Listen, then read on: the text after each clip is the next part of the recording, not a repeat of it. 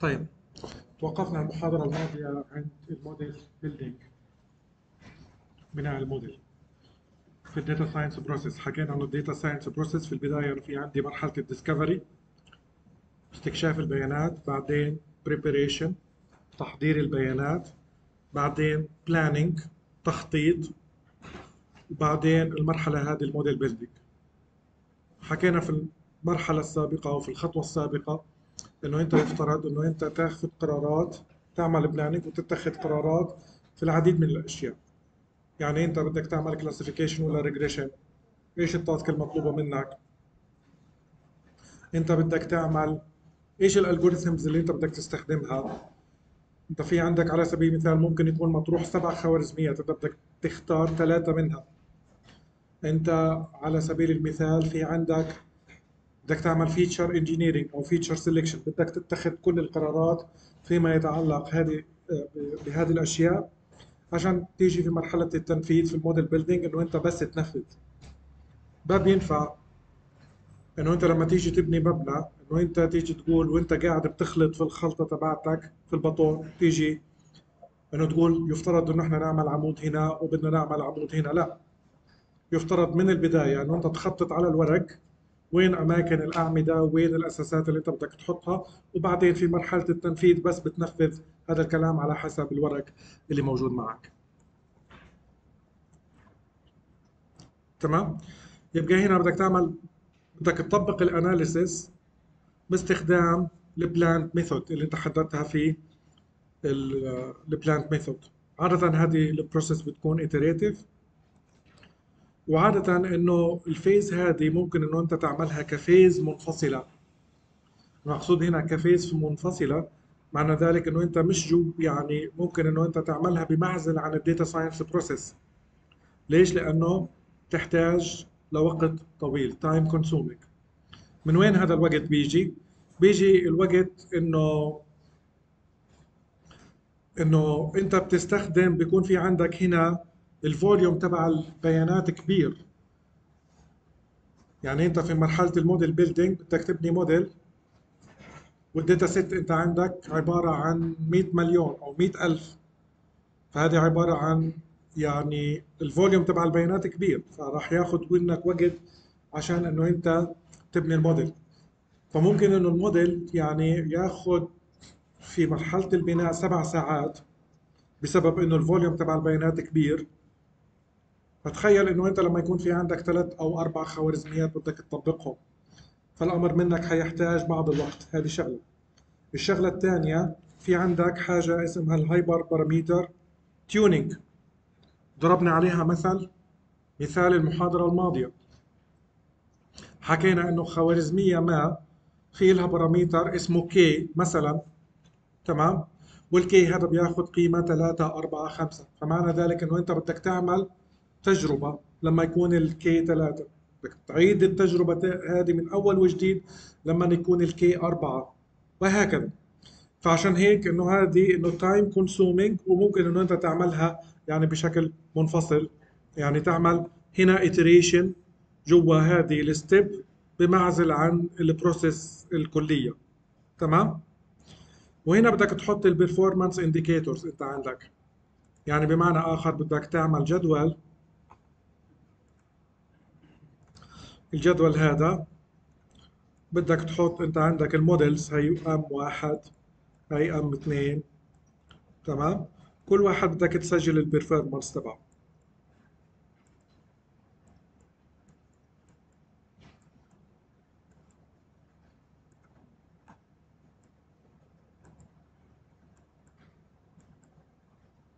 تمام؟ فبدك تحدد كيف بدك تحسب ال performance لأنه أنت في عندك أكثر من performance indicator وكل واحد في له طريقة حساب. لاحظ إنه ال model building بس إحنا شرحناها في slide واحدة لأنه تنفيذ ل plan أنت قضيت في حكينا في ال planning أكثر من slide أنت في ال planning حتفكر في كثير شغلات تتخذ يعني يعني بصددها قرار. أما هنا في التنفيذ خلاص يعني تحصيل حاصل. الخطوة اللي وراها اللي هي ال communicate result communicate result بدك تجاوب على السؤال الأساسي اللي هو هل ال project كان successful ولا لا.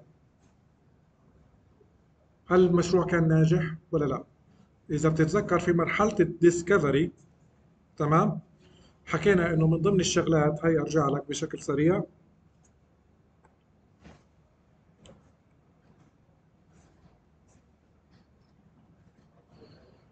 حكينا إنه هنا في مرحلة ال discovery بدك تحدد أنت عندك ال success criteria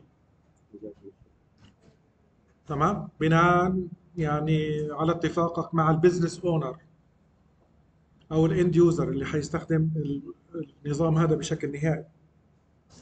فأنت الآن في مرحلة ال result بدك تشوف هل أنت وصلت للنسبة هذه اللي متفق عليها ولا لا. إذا وصلت معنى ذلك إنه المشروع ناجح. تمام؟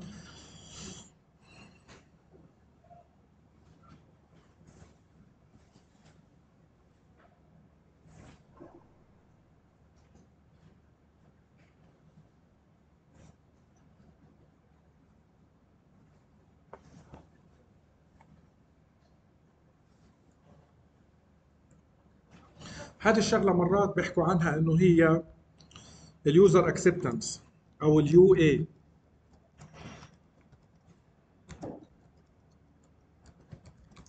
على أي أساس إنه ال user حيقبل النتيجة اللي أنت عملتها؟ بناء على معيار معين. إذا أنت والله الموديل تبعك جبته إنه النتيجة تبعته أو الدقة تبعته 90% 95% وهذه النسبة اللي إحنا اتفقنا عليها فبالتالي إنه الأمر تمام. تمام؟ حكيت كذلك في هذه المرحلة بكون بإمكانك انه أنت تقارن النتائج تبعت ال hypothesis وتقارن النتائج مع ال hypothesis اللي أنت افترضتها في مرحلة ال discovery في مرحلة ال discovery إحنا حكينا إنه أنت بتعمل عديد يعني من الفرضيات. إيش هي الفرضيات هذه؟ حكينا إنه على سبيل المثال أنا بتوقع إنه ال deep learning يتفوق على على بقية الخوارزميات. أو ممكن أجي أقول إنه والله support vector machine حيجيب أفضل نتيجة.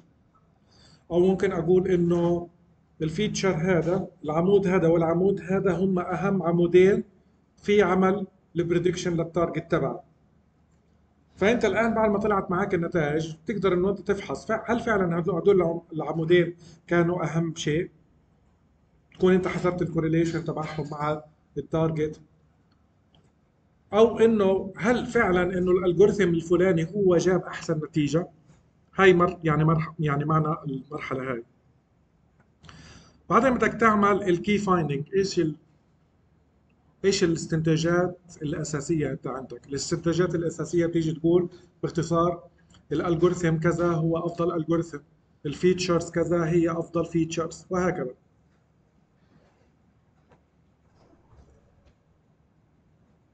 كذلك بدك تعمل quantify لل value تبعت ال result تمام؟ شو معنى هذا الكلام؟ معنى ذلك إنه أنت بدك تجيب ال business value أو ال expected return on investment أو ال ROI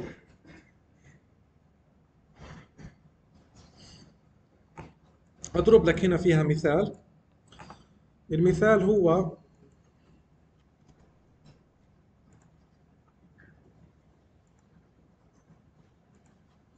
حكيت لك سابقا إنه أنا في عندي بدي model ال model هذا يتنبأ إنه المستخدم هذا أو ال customer هذا حيشتري أو لا. تمام؟ أنا عندي 10000 كاستمر.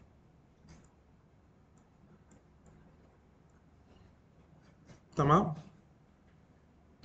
حكيت أنا سابقا بما إنه أنا مش عارف مين حيشتري ومين حي... مين مش راح يشتري بروح بعملهم إعلان لكل واحد بشكل منفرد. لنفترض إنه الإعلان بكلف للزبون الواحد دولار فبالتالي التكلفة قديش حتكون 10000 دولار شو السبب؟ أنا مش عارف مين حيشتري ومين ما حيشتريش، أي نعم هم بيستجيبوش لإلي بالكامل يعني إنه كل مرة بعمل الشغلة هذه مش كلهم إنه هم بيشتريوا تمام؟ ولكن أنا مش عارف مين هم اللي حيشتروا فعلا ومش مين مش حيشتروا عشان هيك بروح ببعت للكل. لكن بعد ما عملنا ال machine learning model ال machine learning model حكى لي إنه من ال 10000 بس أنا عندي هنا على سبيل المثال 1000 حيشتروا حدد لي مين هم. جاب لي ال ID تبعهم.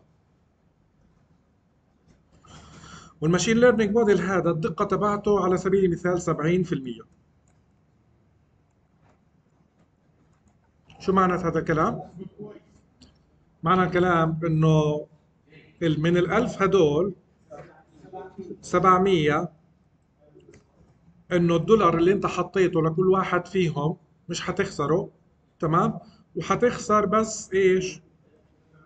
300 دولار.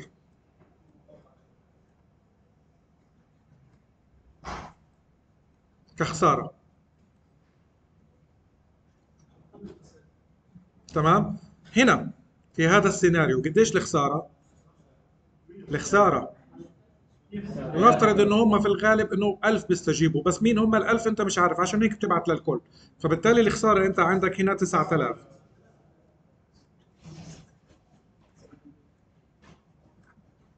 أما هنا الخسارة قديش؟ بس 300 دولار. واضح إيش معناته؟ إنه أنت تعمل quantify لل value تبعت ال result تبعتك. بناء على ال accuracy قدرت أحدد إنه ال accuracy model بهذا ال accuracy حيوفر عليك فلوس. بدل ما أنت كنت تخسر 9000 صرت تخسر بس 300 دولار. عشان هيك بالنسبة له موديل حتى لو كانت الدقة تبعته بس 70% بالنسبة له ممتاز جدا. إنه أنت يكون عندك القدرة إنه أنت تحدد مين حيشتري أو مين مش حيشتري. هذا الإشي ممتاز بالنسبة له وممكن إنه أنت تعيد حساب هذه القيمة لو كانت أو لرف أو لو رفع يعني في حال إنه أنت رفعت دقة الموديل ل 90% تقدر تحسب قديش التوفير راح يكون أو قديش إنه الخسارة راح تكون بالنسبة لك. فبالتالي أنت في هذه الحالة وفرت 9000 دولار على فبالتالي هذا هو الاستثمار اللي عمله. فبالتالي حيقول لك إنه الموديل هذا مش خسارة. الفلوس اللي إحنا استثمرنا فيها. هذه شغلة. الشغلة الثانية هنا في عندك حاجة اسمها ال state of the art إيش ال state of the art معناها؟ state of the art. state of the art هي عبارة عن مصطلح تيجي كلها مع بعض معناها أحدث ما توصل إليه العلم تمام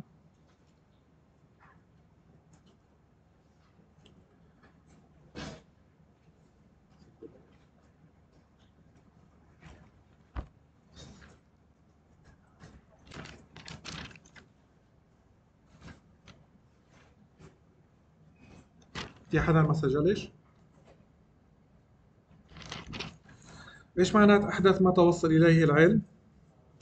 أحدث ما توصل إليه العلم لنفترض إنه أنت في عندك حاجة يعني تعرف باسم sentiment analysis، إيش ال sentiment analysis؟ إنه أنت تاخذ ال social media post وتروح تحلل إنه هذا ال post إيجابي ولا سلبي. لنفترض شركة الإنترنت هذه اللي إحنا كنا بنحكي إنه عندها مشاكل كثير بتقول لك إنه أنا بدي أحلل التعليقات على البوستات تبعتي في السوشيال ميديا تخيل مثلا شركة جوال كل بوست هي بتعمله تمام؟ أكيد في عليه تعليقات كتير. بدي أحدد كل تعليق هل هو إيجابي ولا سلبي عشان تديني نسبة في الآخر إنه تقول لي والله 70% من التعليقات كويسة. أو 70% من التعليقات مش مبسوطة من الشركة. تشكي من سوء الخدمة أو من رداءة الخدمات. مثلا تمام؟ هجيت نفترض إنه الدقة اللي أنت عملتها في هذا النظام كانت 80% معنى ذلك إنه التعل... يعني البوستات بيجيب إنه هي فعلا صح إيجابية أو سلبية بنسبة 80% يعني بيغلط في 20% لكن ال state of the art يعني أحدث ما توصل إليه العلم في أنظمة ال sentiment analysis إنه هي بتوصل لغاية 97% فبالتالي النظام تبعك سيء ولا كويس؟ سيء. لأنه بعيد كثير عن ال state of the art طبعا الكلام هذا كان قبل عشر سنوات إنه sentiment analysis ممكن تكون النسبة إنه 65 70% تمام؟ ولكن بفضل تقدم النماذج في الذكاء الاصطناعي صارت إنه النسبة إنه هي ممكن توصل 90% و97% فبالتالي أنت بالنسبة لك مش مقبول الآن حاليا إنه أنت تعمل system في ال sentiment analysis إنه تكون الدقه تبعته 80% لأنه بعيدة كثير عن ال state of the art وضحت؟ طيب. هنا بدنا نعمل summarize لل finding لل different audiences النتائج هذه بدنا نلخصها لجمهور مختلف. لفئات مستهدفة مختلفة. إيش التصنيف تبعهم؟ التصنيف تبعهم تصنيفين. technical وكمان non-technical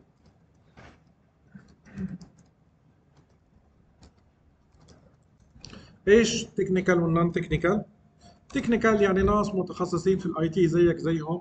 لما أنت تيجي تحكي لهم تفاصيل والله جربت خوارزمية كذا وكانت ال K حطيتها ثلاثة وأربعة وخمسة وطبقت فيتشر انجينيرينج وفيتشر سelection حيكون فاهم الكلام.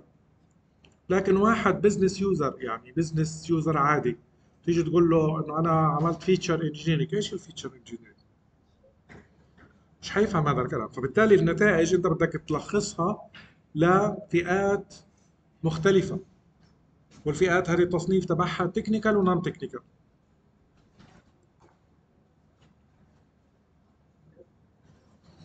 نيجي لل step اللي وراها اللي هي ال operationalize operationalize إنه أنا بدي أعمل implement لل result تبعي. بمعنى آخر إنه أنا أفضل موديل بدي آخده وأنزله اعمل له deploy طبعا ال deployment أنتوا عندكم technically كيف ممكن تعمله اضرب لك مثال انت في لما تيجي تعمل mobile application ال mobile application انت بيحتاج انه هو يكون في عنده اتصال بال database بس هل حياخد اتصال على ال database بشكل مباشر username و password ويصير في عنده يكتب جمل SQL لا بطبيعة الحال لا. بده يوصل لل database من خلال إيش؟ API ال back end developer بيعمل expose لجزء من الداتابيز للعالم الخارجي من خلال API عشان ال mobile developer يشبك على ال API هذه ياخذ بيانات من ال database ويعرضها على ويعرضها جوات ال mobile application جوات التطبيق. وانت هنا بالنسبة لل machine learning model نفس الفكرة. إيش حتسوي؟ حتاخذ server تنزل عليه الموديل. تمام؟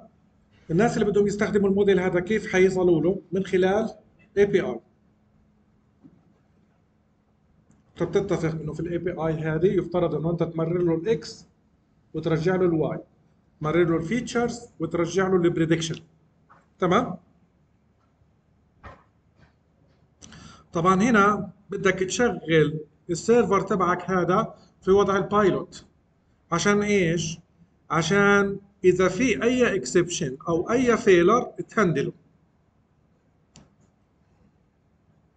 طبعا ال developers لما يجوا يقعدوا مع بعض وبدهم يستخدموا API خلص بيتفقوا بيستخدموا اللغة هذه. بروح بقول لك خلي بالك. بدي إياك تبصي لي كذا وأنا برجع لك كذا.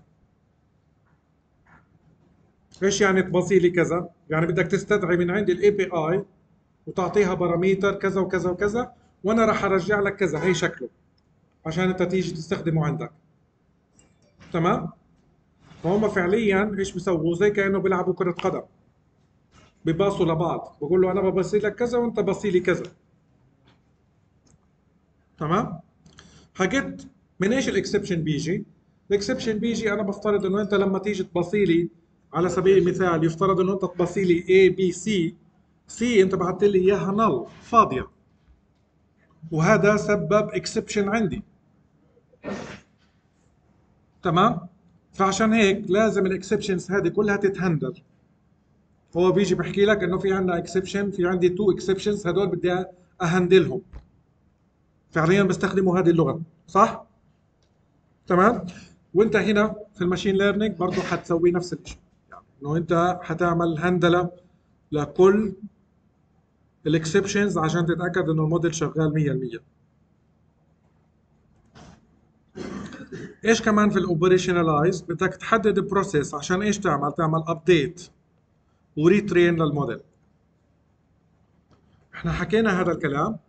حكينا إنه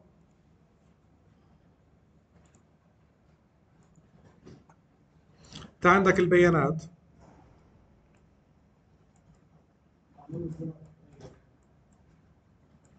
انت بتستخدمها عشان تدرب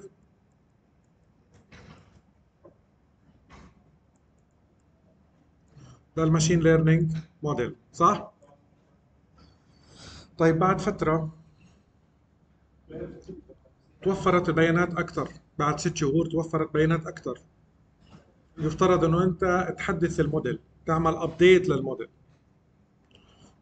أو بعبارة أخرى تعمل retrain يعني البيانات اللي بتتوفر انت عندك فيما بعد يفترض انه انت تدمجهم مع بعض تمام؟ وتعمل هنا retrain لل machine learning شو السبب؟ السبب انه انت كل ما كثرت عندك البيانات بيزداد أداء الموديل بيتحسن فبالتالي لازم تحسنه باستمرار. هذه شغلة. الشغلة الثانية ال models بتصير إنه outdated إيش يعني dated بتصير قديمة. إيش يعني قديمة؟ بتصير إنه الموديل هذه الشغلات اللي تدرب عليها جد أشياء جديدة. فعشان هيك إعادة التدريب واجبة لازم من أكثر النماذج اللي هي بتحتاج تحديث باستمرار اللي هو نماذج الكشف على الأخبار الكاذبة. طب يكون في عندك نموذج أنت بتدي له الخبر بقول لك إنه الخبر هذا حقيقي أو مزيف. ليش؟ لأنه اللي بيروجوا للاخبار المزيفة تمام؟ بيستخدموا نمط معين في الترويج للأخبار المزيفة. ممكن إنه الموديل يقدر إنه هو يكشفه فحكيت الأخبار المزيفة عاملة زي الموجات. كل مرة بينشط موضوع مختلف. قبل كان في عندك أخبار مزيفة كثير على الكورونا. بعدين صار في عندك أخبار مزيفة أكثر على الانتخابات. بعدين اجى موضوع ثاني اللي هو موضوع الحرب. تمام؟ في الحروب أنت عندك بتنشط الأخبار المزيفة على ال social media لأهداف سياسية بطبيعة الحال.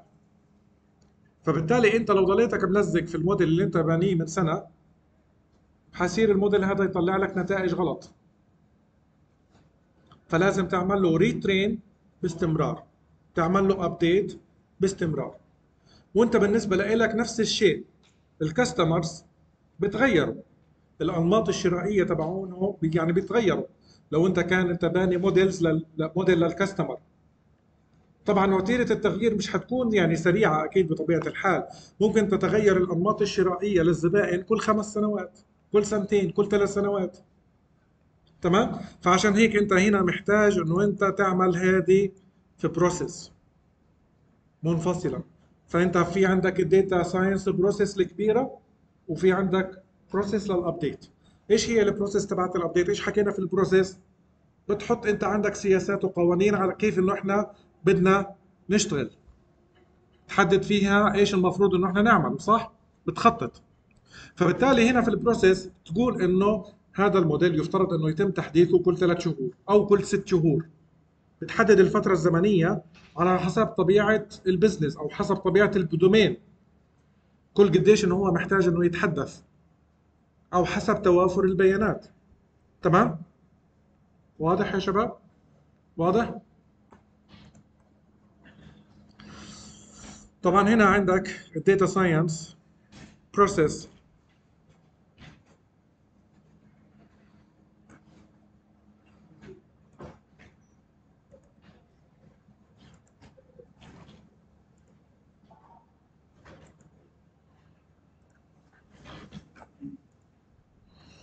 طبعا هنا حطيت لك إياها بشكل مفصل. إيش الفرق بينها وبين ال data science process اللي اللي عرضناها في بداية هذا الباب؟ إنه هنا إنه أنت في عندك خطوات مفصلة. يعني على سبيل المثال قد تجد إنه مثلا ال deployment وال monitoring وال maintenance هذه كانت في ال process اللي إحنا شرحناها سابقا خطوة واحدة. تمام؟ إيش هي هذه الخطوات؟ problem definition data collection and cleaning. هنا حط مرحلة منفصلة لاستكشاف البيانات. exploratory data analysis أو EDA هذا المصطلح حيمر عليكم بدرجة كثير كبيرة. فعشان هيك إنه حطوا هنا في في step منفصلة. موجودة الآن على ال Moodle. حدثت ال Moodle. تمام؟ بس اللي أنت طابعه مش موجودة. على ال Moodle مش موجودة؟ لا لا على ال chapter الجديد. على محدثة الآن على ال Moodle. تمام؟ بعدين في عندك ال step تبعت ال feature engineering هاي الخطوة مهمة جدا. ليش؟ لأنه أنت بدك تقرر إنه ال text مثلا كيف بدك تحوله لأرقام. في طرق عديدة. أو مثلا إنه أنت كيف بدك تعمل feature selection إنه ال feature selection حكينا إنه أنت عندك 30 عمود بدك تختار أهم ثلاثة أو أهم 10 أو أهم خمسة. فعشان هيك إنه محطوطة في في step لحال بعدين model training بعدين evaluation فاصلهم. تمام؟ deployment تعمل deploy لل model. وعندك monitoring و maintenance اللي هي بتشمل موضوع ال retrain لأنه ال retrain أنت بدك تراقب الموديل. كيف بدي أراقب الموديل؟ فهذا الكلام ال predictions ال predictions كيف بدي اتاكد إنه هي صح. بدي أخزنها في مكان ما في ال database. تمام؟ هذا هو ال monitoring إنه أنت تعمل log لكل ال prediction اللي بيعملها الموديل. إنه أنت تخزن ال predictions هذه في table في مكان ما في ال database. عشان ترجع لها بعد هيك وتعرف إنه وين كان يغلط وتحاول إنه أنت تحسن فيه في ال maintenance okay؟ نيجي الآن للأدوار. إيش تعريف الدور؟ تعريف الدور هو عبارة عن function أو جزء من process كمان مرة ال role هو عبارة عن function شغلة وظيفة صغيرة محددة أو جزء من process أكبر شوي. تمام؟ الآن السؤال هل ال role هو نفسه ال person؟ إيش معنات هذا السؤال؟ معنات هذا السؤال هل شخص ممكن يقوم بأكثر من دور؟ ممكن. وهل الدور هذا ممكن يقوم به بأكثر من شخص؟ طبعا ممكن. فعشان هيك حاطط لك إنه ال role لا يساوي ال person مش دائما إنه role واحد لازم يشتغل عليه person واحد. person ممكن يشتغل عدة أدوار. يعني أنا ممكن أشتغل في تحضير البيانات وممكن أشتغل في ال model creation بشتغل two roles وفي نفس الوقت ال role تبعت ال model creation ممكن يشتغل فيها two data scientist عادي بيشتغلوا مع بعض بيتعاونوا مع بعض. تمام؟ حكيت تحديد الأدوار بيساعدك في تحديد المهام والمسؤوليات. زي مثلا على سبيل المثال إنه أنت تقول software developer خلص معروف إنه المهام تبعته إنه يعمل coding أو database administrator أو project manager خلينا نشوف إيش الأدوار هذه. أول دور أنت عندك ال business user مين هو ال business user المستخدم النهائي. اللي بده يستخدم النتيجة النهائية تبعتك. تمام؟ طبعا الناتج النهائي تبعك أنت في المشروع هو عبارة عن machine learning model هو اللي بده يستخدمه. طبعا من خلال interface معينة. تمام؟ بعدين في عندك ال project sponsor اللي هو الراعي أو الممول تبع المشروع. هو في العادة بيكون هي الشركة اللي بدها هذا المشروع. تمام؟ تطرح هذا المشروع بتوفر له تمويل. تمام؟ وهي بتحط له project manager وبتجيب كل الأدوار وبتقول لهم أنتم اشتغلوا مع بعض عشان تنجزوا هذا المشروع. بعدين ال project manager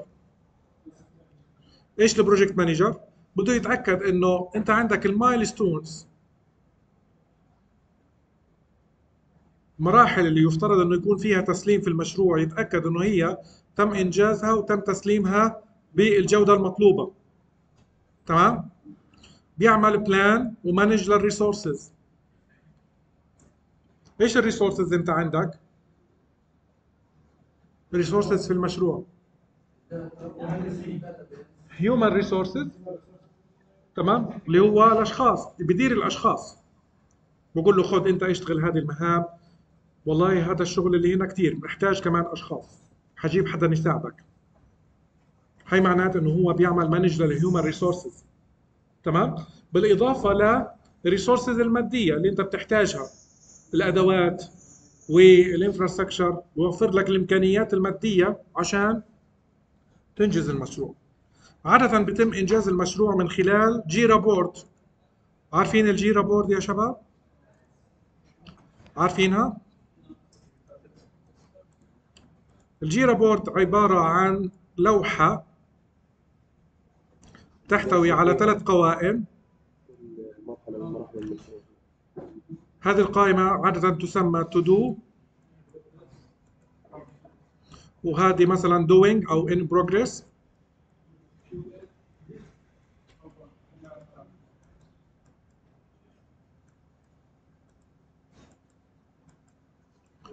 أو doing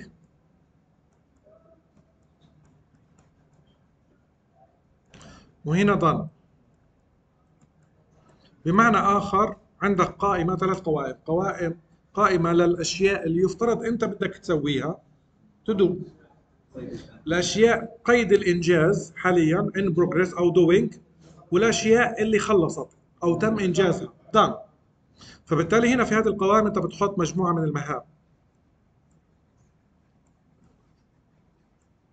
تمام؟ هاي المهام اللي يفترض أنت تسويها. لسه ما بديت فيها ولكن يفترض أنه أنت تسويها. هذه المهام اللي أنت شغال فيها حاليا. هذه المهام اللي أنجزتها.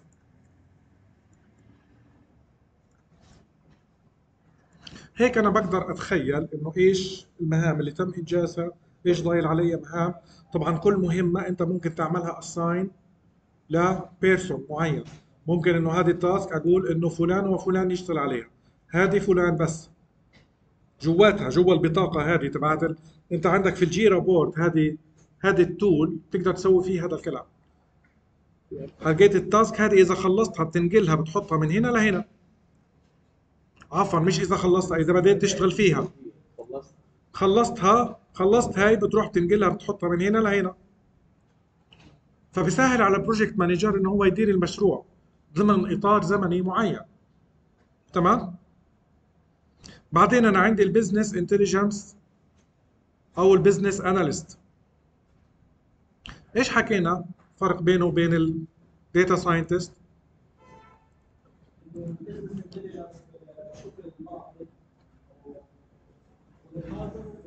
والحاضر بس. ما بيشوف المستقبل. مستقبل بدك فيه machine learning model تمام؟ فبالتالي كيف بشوف الحاضر والماضي؟ من خلال dashboard ال dashboard هذه بتكون معبر عنها من خلال key performance indicators أو KPI إيش هي مؤشرات الأداء؟ مؤشرات الأداء لازم تعبر عنها برقم مؤشر أداء. يعني على سبيل المثال أنا في شركة الإنترنت تبعتي في عندي تكاليف. مش في عندي بنية تحتية وأسلاك وسيرفرات وراوترات وهذه الشغلات بتسحب كهرباء وفي عندي فنيين بدفع لهم رواتب وفي عندي سكرتاريا. تمام؟ فعشان هيك أنا بقول من مقاييس الأداء تبعي إنه عدد المشتركين عندي يفترض ما ينقص عن عن كذا. لو أنا صار عدد المشتركين عندي أقل من كذا معنى ذلك إنه خلاص أنا حخسر أسكر. لازم يكون فوق هذا الرقم عشان يكون في عندي استمرارية ما أخسر. تمام؟ فعشان هيك أنا بحط هذا التارجت أمام قسم التسويق والمبيعات وأقول لهم خلي بالكم عدد المشتركين عندنا لازم يكون فوق هذا الرقم. قل عنه حنسكر. بدك تجيب مشتركين من تحت الأرض. مشكلتك هذه دبر راسك تمام؟ فأنا عندي مؤشر أداء إنه أنا شغال كويس بربح ولا لا بناء على عدد المشتركين. ممكن يكون كذلك عندي مؤشر أداء ل... ل... للأداء الموظفين. كيف ممكن أقيس أداء الموظفين؟ عدد المهام المنجزة في إطار زمني محدد. لازم أحدد الإطار الزمني. أسبوع شهر. تمام؟ فبالتالي ممكن يكون في عندي هنا في الداشبورد رسمة زي هيك.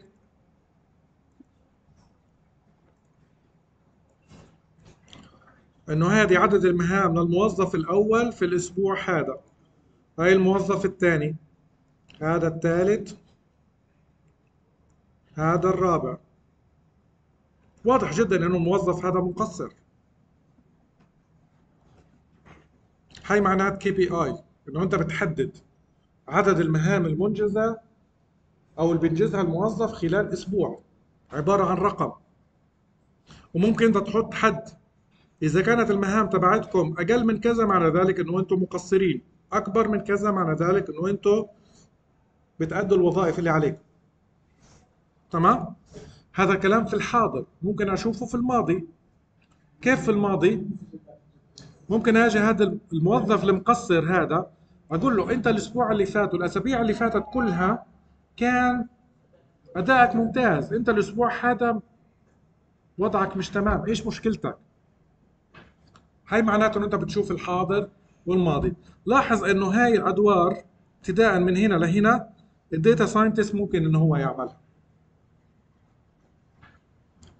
فال data scientist ممكن يشتغل شغل ال business analyst في عندك role تاني اسمه data engineer عادة انه هو بيعمل حاجة اسمها pipeline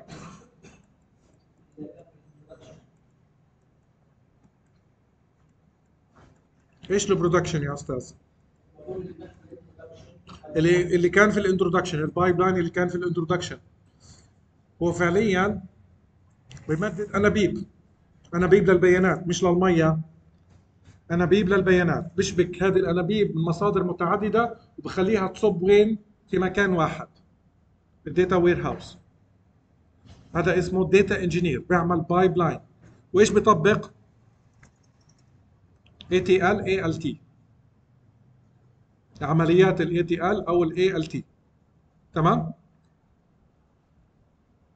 ال data scientist برضه ممكن يشتغل هذا الشغل.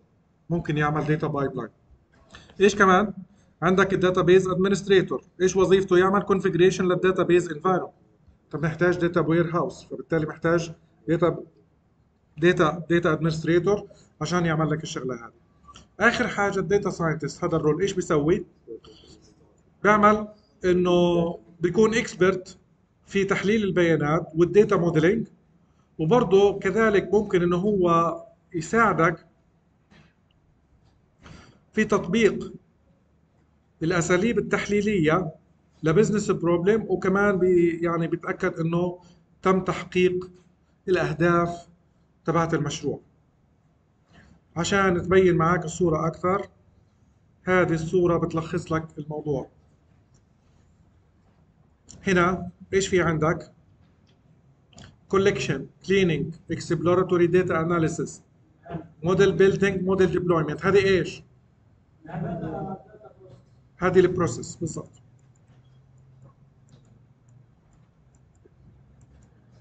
بمعنى آخر أنت عندك الأدوار هذه المختلفة بتشتغل على خطوات مختلفة في ال process يعني ال data engineer على إيش بيشتغل؟ بيشتغل على data collection و cleaning ال data analyst بيشتغل على data cleaning و exploratory data analysis EDA بعدين انت عندك هنا لغاية هنا بس بشوف الحاضر والماضي ما بشوف المستقبل. بدك مستقبل بدك role اسمه machine learning engineer إيش بيشتغل؟ model building و deployment ففعليا المسميات هذه انت راح تشوفها على الإنترنت. لو انت مهتم إنه انت تشتغل في هذا المجال ممكن تلاقي مسميات وظيفية بهذه الأسماء. على ال LinkedIn أو على أي مكان بيتم طرح فيه وظائف في هذا المجال. لما انت تلاقي المسمى الوظيفي machine learning engineer خلاص صرت عارف الآن ال machine learning engineer إيش بيسوي؟ ببني الموديل وبعمل له deploy اللي قبله ملوش فيه دعوة. ليش؟ لأنه في حدا تاني بيشتغله. أنا بس حكون متخصص في هاي الشغلة في الوظيفة تبعتي. تمام؟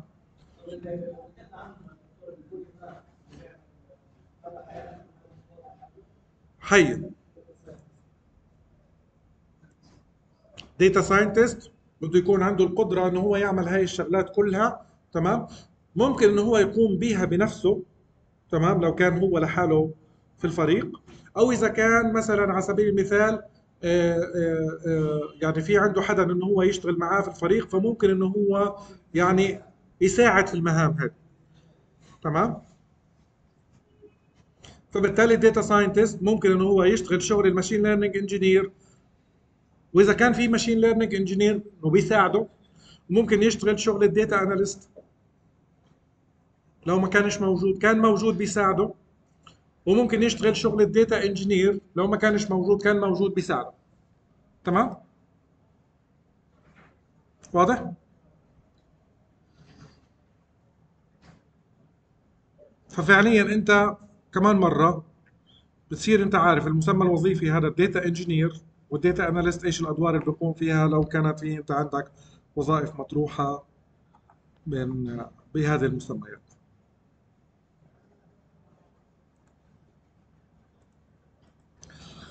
يبقى حكينا عن ال process حكينا عن الأدوار إيش ضايل نحكي؟ على ال deliverables إيش الناتج تبع ال process هاي؟ تمام؟ أنت في عندك عدة نواتج. إيش هي النواتج هذه؟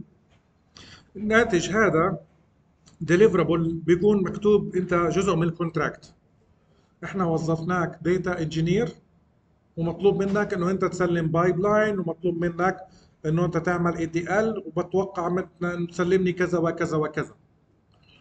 وظفناك عندنا data machine learning engineer بتوقع منك إنه أنت تسلمني موديل وتعمل له deploy بيكون مكتوب في ال contract تمام؟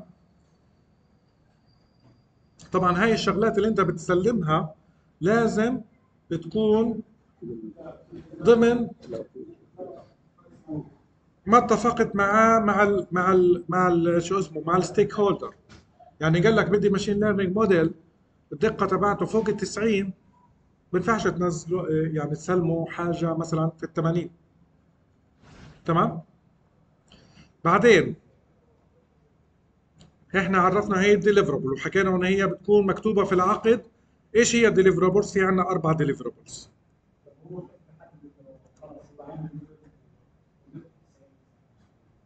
مش إحنا حكينا إنه أنت في عندك مرحلة بتختبر فيه الموديل بتعمل فيه test لل model بتقيم النتيجه تبعته. إذا كانت النتيجة اللي أنت طلعتها على ال test data اللي هي أنت حطيتها بمعزل عن الموديل ما شافها بالمرة كانت النتيجة نفس المطلوب أو أعلى فخلاص. تقدر تحدد يعني. كيف؟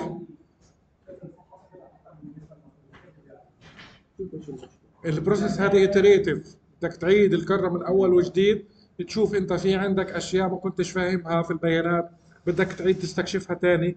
في شغلات في ال في ال ETL يفترض تحضر البيانات بشكل أفضل تمام؟ يفترض إنه مثلا إنه أنت تجرب algorithms ثانية أنت ما جربتها ممكن تجيب لك نتيجة أحسن فبدك تعيد ال process من أول وجديد. تمام؟ يبقى حكينا إنه deliverable هي شغلة ملموسة أو غير ملموسة. ملموسة زي إيش مثلا؟ ال model machine learning model أو ال data pipeline غير ملموسة إنه أنت تعمل deploy deploy هذا عبارة عن خدمة. أنت بتيجي بتقول لي إنه أنا بدي إياك تسلمني الموديل بقول لك خذ اتفضل هي الموديل. طب نزل لي إياه تنزيله هذا خدمة. تمام؟ فعشان هيك أنت عندك tangible و intangible ملموسة وغير ملموسة. تمام؟ وحكينا إنه هذه عادة بتكون مكتوبة في العقد تبعك. ولازم تكون حسب المتطلبات اللي حددها ال stakeholder إيش هي هذه ال deliverable في عندك أربع deliverable أول حاجة ال sponsor presentation هنشرح إيش هو.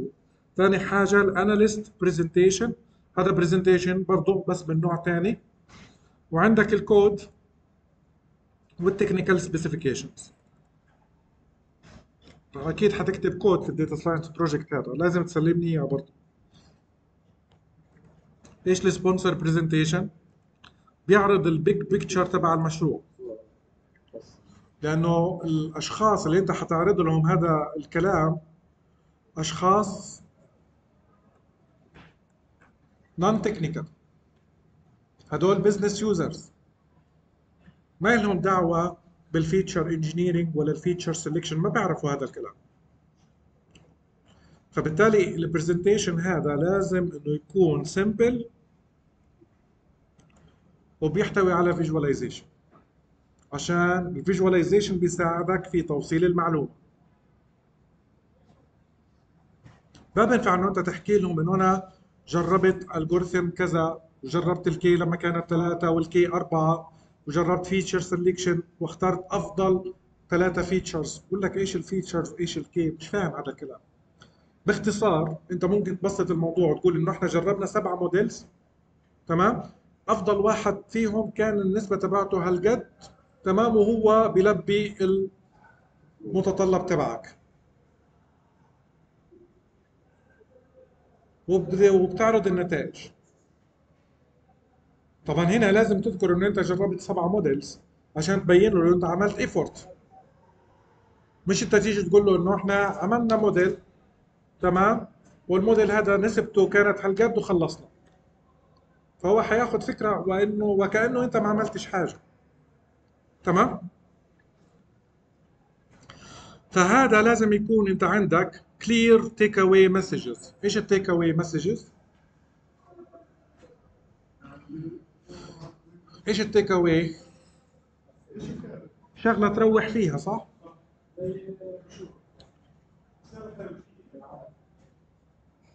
ماشي زي بروشور لقيت التيك اواي من المحاضرة هذه. لقيت بعد ما كل واحد منا يروح في حال سبيله. أنتوا تروحوا على البيت وأنا أروح على البيت. تمام؟ ويجي حدا يسألك يقول لك إيش التيك اواي من المحاضره اللي انت أخذتها اليوم في ال data science؟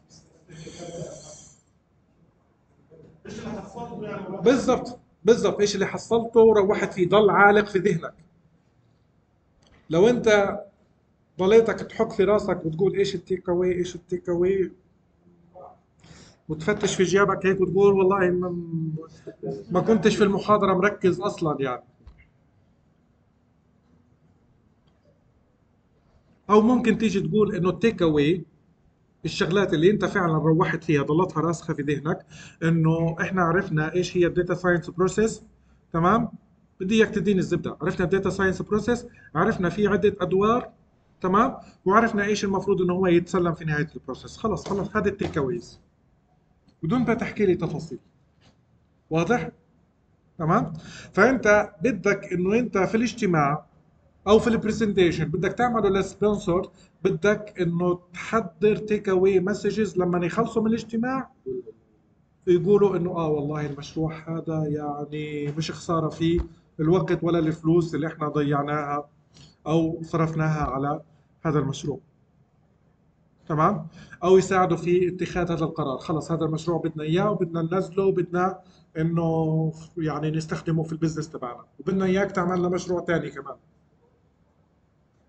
فبالتالي ال takeaways إنه خلص بيكون عارف إنه المشروع هذا خلص. المشروع هذا حقق ال success criteria اللي تم تحديدها في البداية. تمام؟ وخلاص. بس. بدون أي تفاصيل ثانية تمام؟ عشان هيك لازم إنه should aid decision making. حقق ال success criteria خلص اعملوا له deploy بدنا إياه هذا يا شباب. تمام؟ ال analyst presentation إيش ال analyst presentation بيشرح فيه ال analysis method وال data كيف انت الطريقة اللي انت اتبعتها في في هذا المشروع؟ تحكي ال general approach إيش ال interesting insights تمام؟ إيش ال unexpected situation إيش الشغلات اللي طلعت لك هيك فجأة ما كنت إنه أنت متوقعها؟ تمام؟ إيش ال interesting insights ممكن أنت تلاقي إنه إحنا وجدنا حاجة غريبة عند ال customers أو حاجة غريبة عند المشتركين. شغلة ما كناش نتوقعها خالص وهي كذا كذا كذا. تمام؟ بعدين كمان برضو بتشرح ع- تفاصيل عن كيف ال result غيرت ال current status يعني بناء على النتائج كيف تغيرت ال business process الحالية؟ هل تحسنت؟ هل تسرعت؟ إيش النتائج تبعتها؟ تمام؟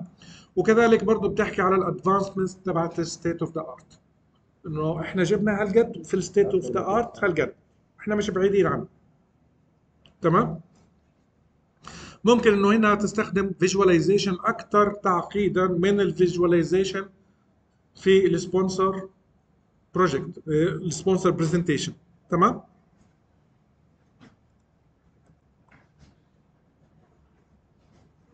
ال code وال technical specification كل الكود تبعت المشروع لازم إنه هو يتسلم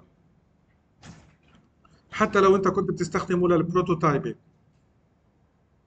تمام؟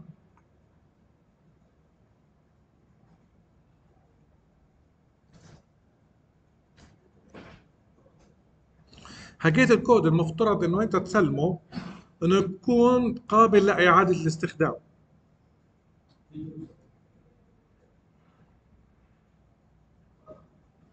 هذه الشغله كتير كتير مهمة في ال coding.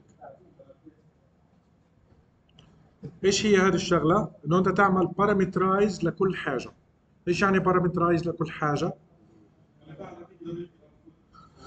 يعني بمعنى آخر أنا والله بدي اعدل قيمه معينة. ما فيش داعي إنه أنا أعيد تعديل الكود عشان أسوي الشغله هذه يعني في الاستدعاء بس بدل ما مرر سبعة بمرر ثمانية بس خلصنا. فانت بتعمل configuration عندك تعمل parametrization لكل حاجة إنه كل حاجة بتقدر تعدلها من خلال الاستدعاء في parameter ما في داعي إنه أنت تعدل على الكود عشان ترجع إنه أنت تظبطها لشغلة معينة. تمام؟ technical specification كيف ال environment اللي حينزل عليها المشروع؟ ال environment لازم تكون server المواصفات تبعته ال RAM لازم ما تقلش عن كذا. لازم يكون Linux لازم يكون ال version تبعت ال Java أو ال Python كذا فأعلى.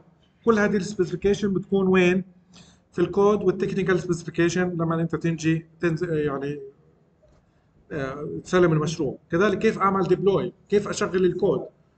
لازم تكتب أنت زي ما بتشوف أنت عندك مثلا على سبيل المثال في المشاريع في ال README بقول لك عشان تشغل المشروع شغل ال command هذا. عشان تعمل deploy أعمل كذا خطوات واحد اثنين ثلاثة. تمام؟ هذا كله لازم يتسلم هنا. في الجدول هذا راح تلاقي إيش ال expected deliverable لكل role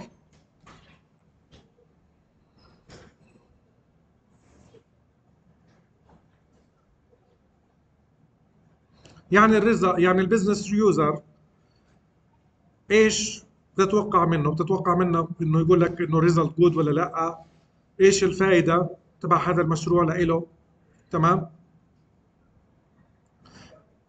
ال project sponsor ممكن إنه أنت تتوقع منه إيش ال impact تبع المشروع إيش ال risk؟ على ال ROI ال project manager هاي الأدوار تبعته أو ال deliverable ال business analyst هاي الأدوار تبعته في ال presentation إنه أي نوع من البيانات استخدمها في ال presentation في ال dashboard تبعته يعني حيحكي هذا الكلام في ال presentation تمام؟ كيف ال report آه، كيف. ال report إنه حيتم تغييره؟ إيش ال KPI اللي ممكن إنه هي تتغير عنده في المشروع وهكذا. فحتلاقي إنه كل دور إيش ال expected deliverable كله عنده.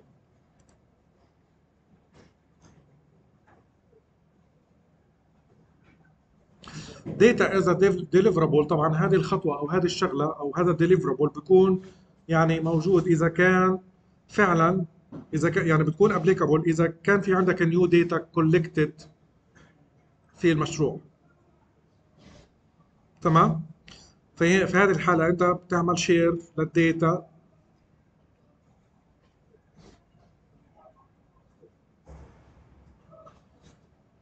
تمام؟ لأنه مشاركة البيانات مهم جدا. ممكن تكون المشاركة فقط داخليا جوات الشركة تمام؟ أو مجموعة الشركات العاملة في مجال معين أو public أي حدا إنه هو ممكن إنه هو يستخدمها. آخر حاجة السمري طبعا في هذا الباب إحنا تعرفنا على ال process تبعت ال data science تمام؟ بتكون من ست مراحل. شفنا إيش هي المراحل هذه. شفنا ال actors المختلفة أو الأدوار المختلفة اللي ممكن تلعب في هذه ال process أو تشتغل مع بعض في هذه ال process إيش ال deliverable لكل واحد آه، يعني لكل دور في هذه ال process تمام؟ وايش إيش هي ال deliverables بشكل عام؟ شفنا إنه في عندي أربعة deliverables أساسية وكيف إنه هم حيتشاركوا في الأربعة ديليفرابلز الأساسية هذه. هيك بنكون خلصنا هذا الباب. في حدا عنده سؤال استفسار؟